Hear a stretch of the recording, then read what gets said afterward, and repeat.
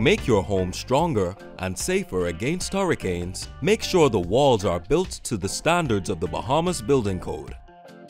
Timber walls are typically framed on the floor before being stood up into position. The frame is built of studs, blocking, two top plates, and two bottom plates. All framing must be pressure treated of grade number 2 or better and at least 2 by 6 in size. Studs are the vertical parts of the wall frame.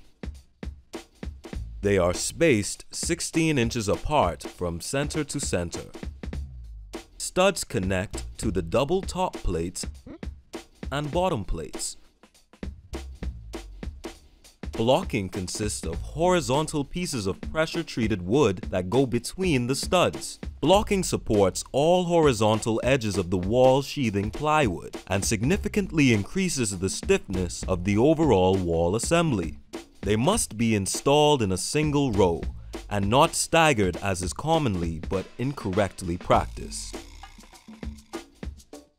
It is very important that all parts of the framing be level which means exactly horizontal, or plumb, which means perfectly vertical. Everything must fit together snugly. This is important for you to check during construction. Sheathing is plywood that goes on the outside of the wall frame and adds strength. Plywood must be pressure treated and at least half an inch thick. Each sheet of plywood must be nailed to all framing that it is in contact with. All plywood edges must be nailed to framing. Use 8 penny hot dipped galvanized or stainless steel nails spaced at 6 inches at the edges of the plywood and 12 inches elsewhere. For more information, please download the free Build Back Better manual by scanning this QR code.